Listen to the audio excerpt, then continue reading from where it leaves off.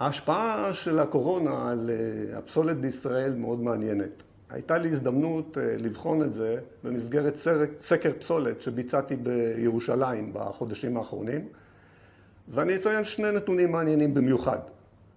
אחד, בעקבות השהייה שלנו בבתים אנחנו אוכלים הרבה יותר ואנחנו אוכלים בעיקר בבית.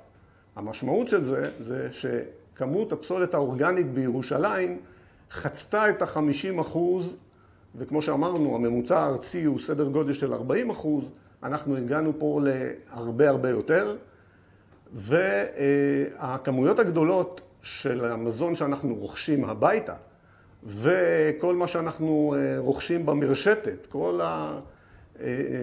הקניות ותרבות הצריכה העודפת שלנו מביאים אותנו לסדר גודל של כחמישה עשר אחוזים יותר פסולת שברובם, כמו שאמרנו, הם פסולת מזון ושאריות של אריזות ששם אנחנו נמצא שוב את הפסולת הפלסטיק שלנו שנוכל למחזר אותה ביתר קלות במידה ונפריד במקור.